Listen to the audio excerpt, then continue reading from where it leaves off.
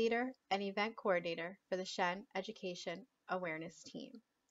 Did you know that in the 2015-2016 school year, there were 566 kindergarten students enrolled at Shen?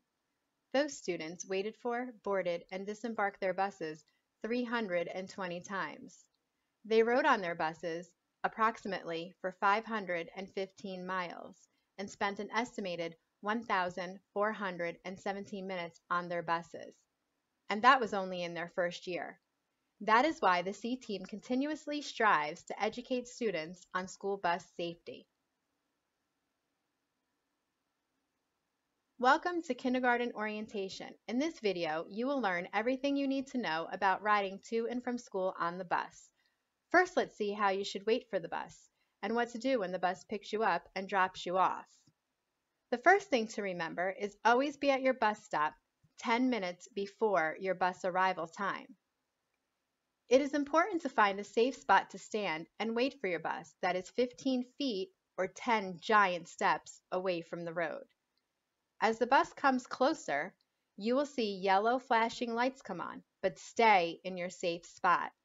Then your bus will come to a stop and you will see red flashing lights and a stop sign but still stay in your safe spot. Look up at your driver. Your driver will check all directions and when it is safe, give you the signal to cross. Once you've gotten the signal to cross, look both ways, then walk across the street. But if you ever hear the bus horn, go back to your safe spot because that means danger. Use the handrail, go directly to your assigned seat, and buckle your seatbelt. Now it's time to go home. Stay seated until the bus stops. Use the handrail and at the bottom step, look both ways before getting off.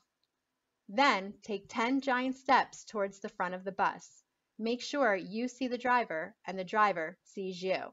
Wait for the driver's signal, then walk to the end of the bus, look both ways, then you will get the signal to cross the rest of the way. Remember, if you hear the horn, go back.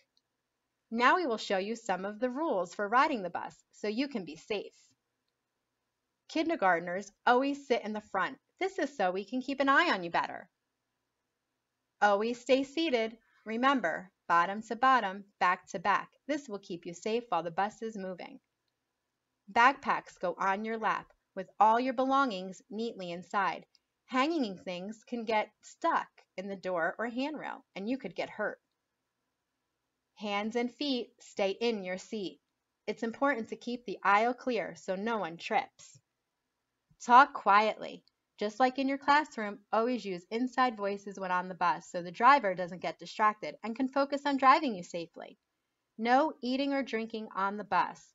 Some students may be allergic to what you are eating or drinking, or you could choke, so make sure you finish your breakfast or snack before boarding your bus. Now let's take a look at some of the danger zones around the bus.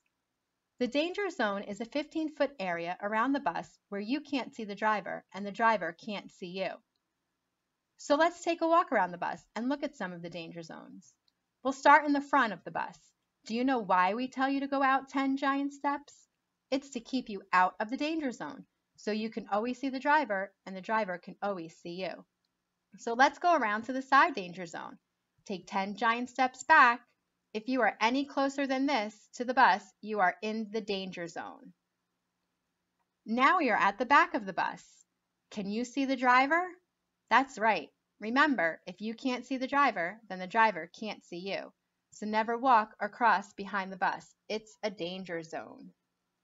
And finally, a message for all parents. We would like to thank you for watching this video and helping our drivers keep your children safe. But before you go, here are some things to keep in mind. Always be ready at your child's stop at least 10 minutes before scheduled pickup time.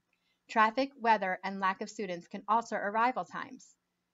Parents may not board the bus. If your child needs assistance, inform the driver and they can help.